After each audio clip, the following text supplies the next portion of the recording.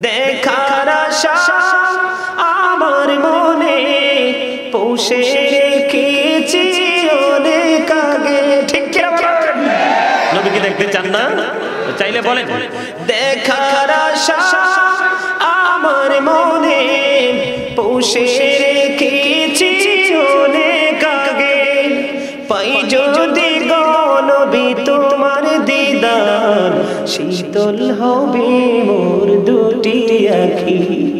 কেমন করে বলো তোমায় দেখি? ওগুন বিজি কেমন করে বলো তোমায় দেখি?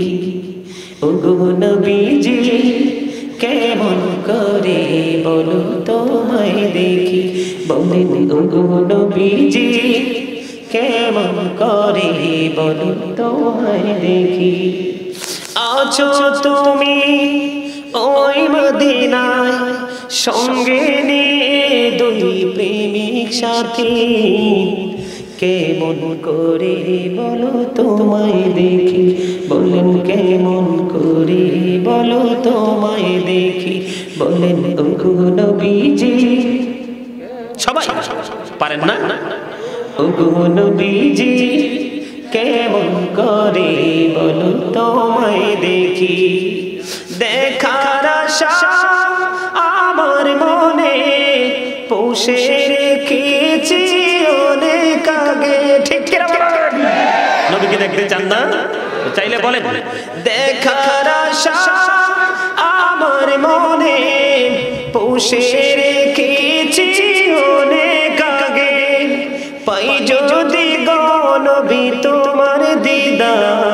শীতল হবে মোর দুটি আখি। কেমন করে বলো তোমায় দেখি? বলেন কোন বিজি বলো তোমায় দেখি। বলেন কোন বিজি বলো তোমায় দেখি। স্বপ্ন যোগে দিও দেখা, এই অধমের স্বপ্ন যোগে এই অধমের মনের আশা তুমি চারাও যে শূন্য জীবন। কিছু দূর যাওয়ার পরে বন্ধু নজর দিয়ে চাইয়া দেখলেন, একটা জন্মন্ধ লোকের সাথে দেখা হলো।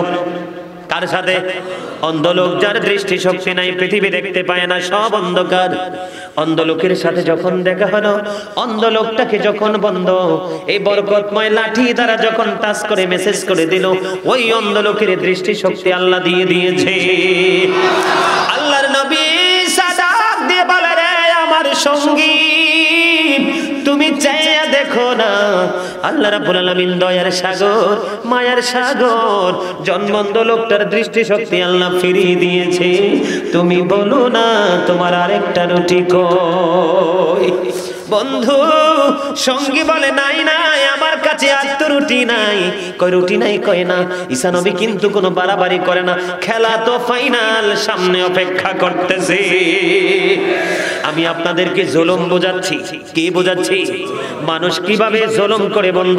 আল্লাহর নবী বলেছে আমার নবী, আমি আমার উম্মত গুলোকে মাজায় ধরে ধরে জাহান্নাম থেকে বাঁচাইতে চাই। কিন্তু আমার উম্মতগুলো আমার হাত ফসকে জাহান্নামে চলে যায়। নাউজুবিল্লাহ বলেন আল্লাহর হাবিব আরও বলেছেন, বন্ধু, হাদিস শরীফ থেকে প্রমাণ। বান্দা হাসতে হাসতে এমন অপরাধ করবে রে। সেই অপরাধের কারণে মাসিক থেকে মাগরিব পর্যন্ত জাহান্নামের দিকে এগিয়ে যায়। তার মানে পৃথিবীর এক প্রান্ত থেকে আরেক প্রান্ত পর্যন্ত যতটুকু রাস্তা, ততটুকু সমপরিমাণ রাস্তা তারা জাহান্নামের দিকে এগিয়ে যায়। জোরে বলেন, নাউজুবিল্লাহ। সেই পাপটা করে তারা হাসতে হাসতে। আলোচনা কি শুনবে? আরে সবার মনেই তো প্রেমের জোয়ার সবটির চেহারা উজ্জ্বল। সুবহানাল্লাহ বলেন, আর জোরে, মহাব্বতে। আল্লামা ডক্টর ইকবাল বলেছেন, যার সিনাই নবীর প্রেম নাই, তার ইসলামী কোনো দাম নাই। আর যার সিনায় আছে নবীর প্রেম, সেই প্রেমের কারণে উজ্জ্বল তার মুখশ্রী। জোরে বলেন না, সুবহানাল্লাহ। এবার বন্ধু কি করলেন? ওই সঙ্গী বলতেছে, ওগো আল্লাহর নবী, আমার কাছে তো কোনো রুটি নাই। কয় নাই, কয় না। কয়, আল্লাহর নবী কিছু বলে না, সামনের দিকে চলতেছেন। যাওয়ার পরে, কিছু দূর যাওয়ার পরে আরেকটা অদ্ভুত দৃশ্য বন্ধ দেখলেন। একটা ডেড বডি পড়ে আছে। ওই যে শুরুতেই বলেছে, খাঁচা আছে, পাখি নাই। এই খাঁচার কোনো দুইটা টাকারও মূল্য নাই। ঠিক কিনা বলেন? আরও জোরে। আল্লাহর নবী কি করলেন? ওই বরকতময় লাঠি দ্বারা এই ডেড বডি বানি ওই যে রুগীর গায়ে আঘাত করল, ওই মৃত ব্যক্তির গায়ে যখন আঘাত করল, আঘাত করতে দেরি রে, ওই ডেড বডি জিন্দা হইতে দেরি হয় না।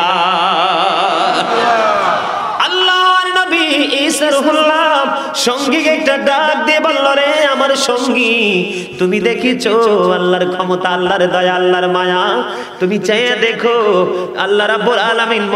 চিন্তা করে দিয়েছে।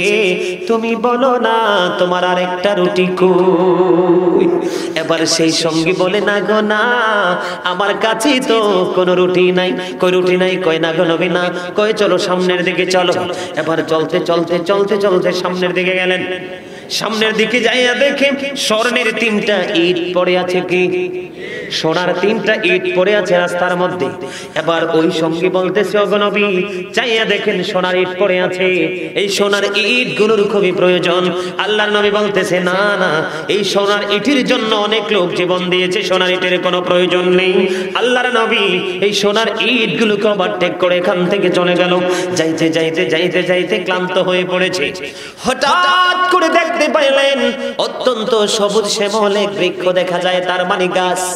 আল্লাহর নবী অনেকক্ষণ হেঁটেছেন, অনেকক্ষণ ভ্রমণ করেছেন। এবার তিনি কি করলেন? অবন্ধ গাছের ছায়ার নিচে, বৃক্ষের নিচে আশ্রয়ের জন্য চলে গেলেন। যাওয়ার পরে আল্লাহর নবী যখন বিশ্রাম করতে গাছের নিচে বসলেন, হঠাৎ করে তার দুই আখিতে তন্দ্রা চলে এসেছে। আল্লাহু আকবার। আখি দুইটা দুর্বল হয়ে পড়েছে। আখি দুইটা ঘুমাবে। আল্লাহর নবীকে সংকেত দিচ্ছে, ওগো নবী, আমার খুবই পরিশ্রম হয়েছে, আমাকে একটু রিল্যাক্স জমিনে অপেক্ষা করতেছে। কালকেও কিন্তু আমি ঢাকাতে আবার, আজকে কুমিল্লা যাব, আবার ঢাকা আসব। প্রতিদিন গত রাত্রে দুইটা করছি প্রোগ্রাম আমি কিন্তু সচরাচর দুইটা করি না, কারণ দুইটা প্রোগ্রাম করলে কাউকেই সন্তুষ্ট করা যায় না। ঠিক কিনা বলেন? তারপরেও বক্তাদের অনুরোধে গত রাত্রে দুইটা করছি। একটা দিনও ফ্রি নাই। প্রোগ্রামের পরে প্রোগ্রাম চলতেছে, তারপর আপনাদের ভালোবাসা, আপনাদের দোয়ায় আল্লাহ রাবুল আলমিন শারীরিক, মানসিকভাবে সুস্থ রেখেছি, বিদায় বিরামহীন ভাবে কথা বলতে পারি। এটা আল্লাহ রহমত ছাড়ার কিছুই হতে আমি আপনাদেরকে শেষ বেলায় কিছু কথা বলব। আমরা কিন্তু ইসলামের, আমরা কিন্তু Islam is not only a religion but also complete code of life পরিপূর্ণ জীবন ব্যবস্থা কোথায় আছে? কোরআন, হাদিস, ইসমা, কেয়াজের মধ্যে আছে, ঠিক কিনা বলেন? আমরা কিন্তু সেই আলোকে জীবন যাপন করি না, ঠিক কিনা বলেন?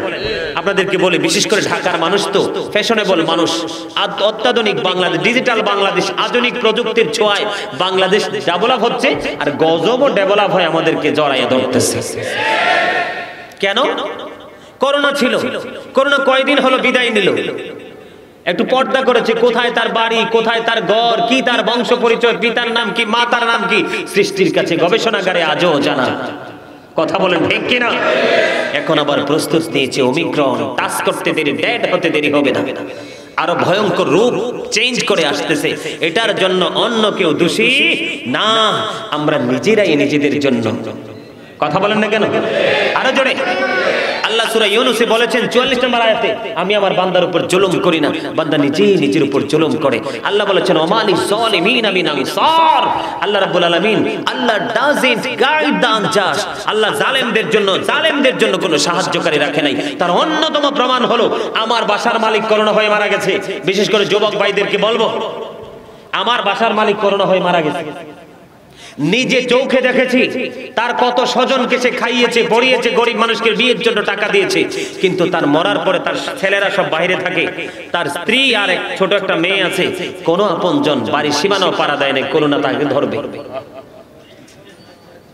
নাউজুবিল্লাহ বলতেন না, সেই ওমিক্রন আবার আসতেছে, সাবধান হয়ে যান। ইসলামের ছায়াতলে থেকে নিজের জীবন পরিচালনা করেন। জীবনটা রঙিন হয়ে যাবে, পরকালটা আপনার আপন হয়ে যাবে। এই যে আমি আপনাদেরকে বলি, এই যে দেখেন, ভাই, তোমরা রাগ করো না। এই যে ছেলেদেরকে দেখেন, একটার মাথাও আল্লাহ মাথা বানাই দিছি গোল, আর এরা একটার তিনতলা ফাউন্ডেশন দোতলা ফাউন্ডেশন এবার একতলা ফাউন্ডেশন দিছি। কথা কন ঠিক কিনা? নিচটা হইল ডিজিটাল রেল লাইন তার উপরটা হলো বর্তমান যে আধুনিক পিচ দুনা রাস্তা, পাকা রাস্তা। আর উপরটা হলো বাবুই পাখির বাসা। কথা বল না কেন? এই যে চুল কেটেছো, কাকে দেখে? বেঈমানকে দেখে। কোন খেলোয়াড়কে দেখে? কোন বেঈমান সিনেমার, কোন সিনেমার থেকে নায়ককে দেখে নাকি? কোন নাটকের অভিনেতাকে দেখে? কোন সিনেমার অভিনেতাকে দেখে, এরকম না? তারা বেঈমান, কাফের। আল্লাহ বলেছেন ওয়াইদাতিল কাফিরিন জাহান্নাম বরাদ্দ কাফেরদের জন্য। আর কাফেররা কি মুসলমানের বন্ধু না শত্রু? মিয়া the heretics are the eternal enemy of the believers বেঈমানরা ইমানদারদের প্রকাশ্য দুশমন, ইন্নাল কাফিরিনা কানু লাকুম আদুওয়াম মুবিনা। আমার কথা কি শুনতে কষ্ট হয়? এবার আসেন দাড়ির কাছে আসি। আপনারা কে রাখছেন? কে কইছে দাড়ি রাখতে? ভালো না লাগে দিন তিনবার শেখ করেন, আর নাহলে ছত্রিশ বার শেখ করেন। কিন্তু তারপরেও দাড়ি রেখে ডিজাইন করা, এটা নবীর না এই দাড়ি যে রাখছেন, এটাও বেঈমানের স্টাইলে সুলডি কাইটটা বাবুই পাখির বাসার মতো উপরে করছে। বাবুই পাখি ডিম দিতে পারবে, তা দিতে পারবে, বাচ্চা দিতে পারবে, তারপরেও বাচ্চা পড়বে না। এত শক্ত ভাবে এটাকে খাড়া করাইছে, ঠিক না বলেন? আরও জোরে। না গেল এটা দাড়ি গেল এবার আসেন। বোখারি শরীফের হাদিস এবং কোরআন। আল্লাহ তিনটা পোশাক দিয়েছেন। একটা লজ্জাস্থান ঢাকার পোশাক, আরেকটা হলো যেমন আজকে যে আমরা এসেছি, বিশেষ করে আমরা সবাই নতুন, সুন্দর পোশাক পরছি, বিশেষ করে আমার বাজান। মনির সাহেব বিউটিফুল ঠিক কিনা বলেন? আরে জনে বলেন। পাঞ্জাবিরে সেই পছন্দ হয়েছে আমার। বাপকা বেটা, চিপাইকা ঘোড়া, ঠিক কিনা বলেন? এই বন্ধ পোশাকটা হলো সাজের পোশাক। তিন নাম্বার পোশাক হলো এটা কোরআনের কথা আল্লাহ বলেছেন, আল্লাহর কাছে সবচেয়ে পছন্দের পোশাক হলো তাকওয়ার পোশাক। এখানে যদি যুবকদেরকে দাঁড় করায় ম্যাক্সিমাম যুবকের পরনে দেখব জিন্স প্যান্ট আছে না নাই? ওরে যুবকের দল, তোমরা জানো না, আমরা মুসলমানের জন্য নবী শিখাইছে মেসওয়াক। বেঈমানেরা ব্রাশ আবিষ্কার করে মিসওয়াককে গোলা টিপে হত্যা করে দিয়েছে। আমরা মুসলমানের জন্য সকালে হলো পুরকানিয়া মাদ্রাসা ঠিক কিনা? কিন্টার গার্ডেন বের করে সকালের মাদ্রাসাকে হত্যা করে ফেলেছে। এটা বেঈমানদের কৌশল। জিন্স প্যান্ট বন্ধ আবিষ্কার করে মুসলমানের পর্দাকে হরণ করে নিয়ে গেছে। শুধু কি নারীরাই পর্দা করবে না? পুরুষদেরকে পর্দা করতে হবে।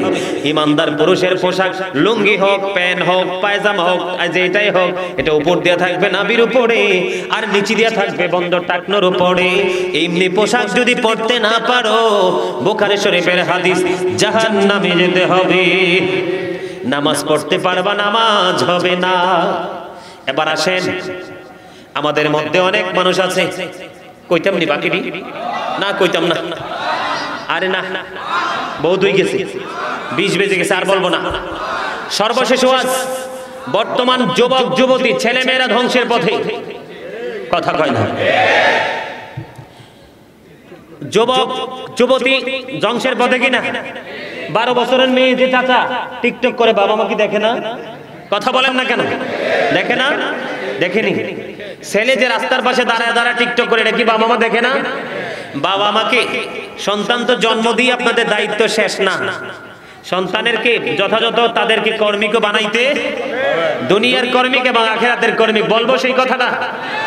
সম্মানিত উপস্থিতি every parent should take care their children very carefully প্রত্যেকটা পিতামাতার উচিত সন্তানের দায়িত্ব যত্ন সহকারে পালন করা ঠিক কিনা বলেন? আমরা যারা সন্তান আছি, আমাদের উচিত উই শুড অবি আউসিবি রব্বি জাল্লাল্লাহ মা ফি কলবি গায়রুল্লাহ, নূর মুহাম্মদ সাল্লাল্লাহ, লা ইলাহা ইল্লাল্লাহ, নূর মুহাম্মদ সাল্লাল্লাহ। হাসবি রব্বি জাল্লাল্লাহ ফি কলবি গায়রুল্লাহ নূর মুহাম্মদ সাল্লাল্লাহ লা ইলাহা ইল্লাল্লাহ নূর মুহাম্মদ সাল্লাল্লাহ আমরা সবাই গোনাগারে ডাকি তোমায় বারে বার। সবাই গোনাগার ডাকি তোমায় বারে বার। দয়াল নবীর উসিলায় পার কইর হাসর বেলা। হাসবি রব্বি জাল্লাল্লাহ। লা নূর মুহাম্মদ সাল্লাল্লাহ। লা ইলাহা ইল্লাল্লাহ। নূর মুহাম্মদ সাল্লাল্লাহ। আমরা সবাই গোনাগারে ডাকি তোমায় বারে বার। বলে আমরা সবাই গোনাগার ডাকি তোমায় বারে বার। দয়ালে নবীর সিলাই পার কইরো হাসর বেলা। হাসবি রব্বি জাল্লাল্লাহ। লা নূর মুহাম্মদ সাল্লাল্লাহ। লা ইলাহা ইল্লাল্লাহ। নূর মুহাম্মদ সাল্লাল্লাহ। জোরে জোরে বলেন না, মারহাবা। আর জোরে মহাব্বতে। এই বছরের আমার নতুন লেখা একটা গজল শোনাবো। সবাই শুনতে রাজি? গজলের মাধ্যমে আজকের ওয়াজের সমাপ্ত হবে। ঠিক কিনা? পারলে আমার সাথে সবাই গাইবেন। রাজি আছেন? কথা বলেন, রাজি? সবাই নবীর শানে। নতুন লিখেছি আরও, কিন্তু একটা শোনাবো। আপনারা পারলে গাইবেন। ঠিক আছে? হাসান ইবনে সাবিত রাদিয়াল্লাহু তাআলা আনহু গেয়েছিলেন আর নবী খুশি হয়ে বলেছিলেন, আল্লাহ, হাসান ইবনে সাবিতকে রুহুল কুদ্দুসের মাধ্যমে সাহায্য করুন জোরে বলেন না, সুবহানাল্লাহ। আর জোরে। এরারে নিশ্চিস নি। নিশ্চয় ঠিক আছে। সবাই প্রস্তুত। নবীজি, কেমন করে বলো তোমায় দেখি? নবীজি, কেমন করে বলো তোমায় দেখি? বলেন নবীজি, কেমন করে বলো তোমায় দেখি? আছো তুমি ওই মদিনায় সঙ্গে নিয়ে দুই প্রেমিক সাথী। কেমন করে বলো তোমায় দেখি? বলেন কেমন করে বলো তোমায় দেখি? বলেন নবীজি। সবাই, পারেন না? ওগো নবীজি। কেমন করে বলো তোমায় দেখি? দেখার আশা আমার মনে, পুষে রেখেছি অনেক আগে। ঠিক নবীকে দেখতে চান না? চাইলে বলেন।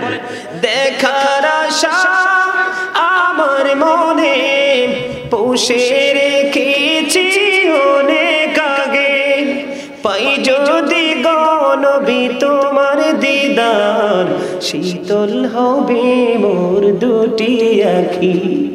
কেমন করে বলো তোমায় দেখি বলেন ওগো নবীজি।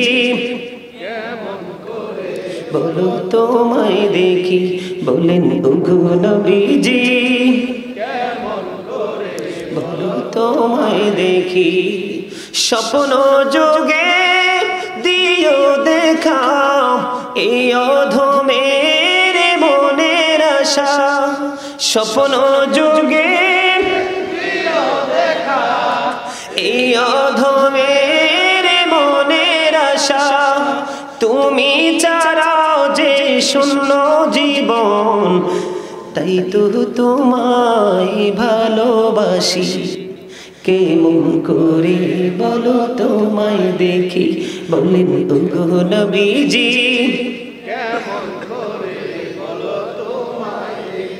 বলেন ওগো নবীজি, কেমন করে বলো তোমায় দেখি?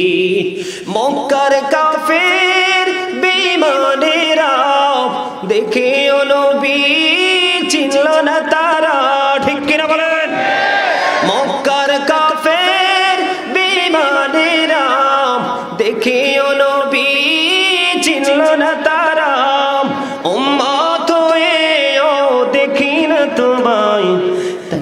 সদাই ভাবি আমি।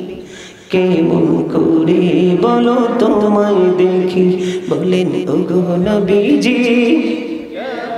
করে বলো তোমায় দেখি। মারহাবা।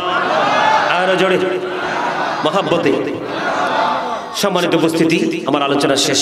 আপনাদের সকলকে বিনীতভাবে আমি অনুরোধ করব। আশা করি আমি কোন দিকটাকে আপনাদেরকে বুঝাইতে চেষ্টা করেছি আপনারা বুঝে নিয়েছেন। যেই কোনো অপরাধী নিজের উপর নিজে কি? জুলুম। কি? নিজের উপর নিজে অত্যাচার করা। আমি একদিকে নিজের উপর নিজের জলম করলাম আরেক দিকে, যার উপরে আমি কি করলাম? অত্যাচার করলাম। তার সাজাও কিন্তু কেয়ামতের দিন। সে অপরাধের সব কিছু কিন্তু কি করতে হবে? যিনি অপরাধ জুলুম করেছেন, তাকেই বহন করতে হবে। আল্লাহ যেন আমাদের সবাইকে পাঁচ ওয়াক্ত নামাজ পড়ার তৌফিক দান করে। জি? হ্যাঁ আমি তো জানি। আল্লাহ রাব্বুল আলামিন যেন আমাদের সবাইকে পাঁচ ওয়াক্ত নামাজ পড়ার তৌফিক দান করে, হালাল পথে রোজগার করার তৌফিক দান করে, যেই পথে চললে আল্লাহ রাসূল খুশি, সেই পথে চলার তৌফিক যেন আল্লাহ আমাদেরকে দান করে। সকলে বলুন, আমিন। সম্মানিত উপস্থিতি